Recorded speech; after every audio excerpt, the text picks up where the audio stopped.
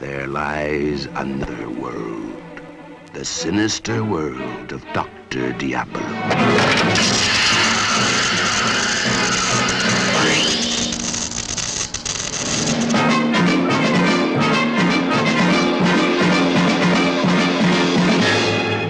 Real torture garden.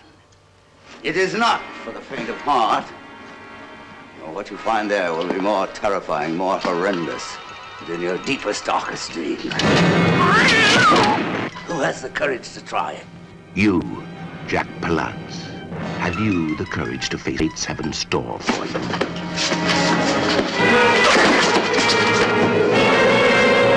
You, Burgess Meredith, as the devil incarnate. What horror will you next reveal? Beverly Adams, what lies beyond your dreams to bedevil your future? The Torture Garden.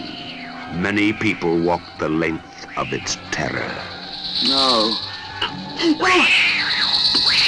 I'll do it! I'll do it! This is the writer who shields the secrets of immortality. Did you know that there are ways to raise the dead? The rich man who'd sooner part with his life than his wealth. The money.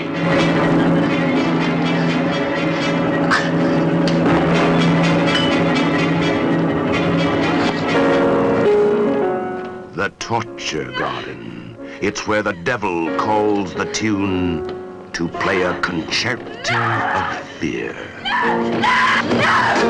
There's a with his head all... No! Ah!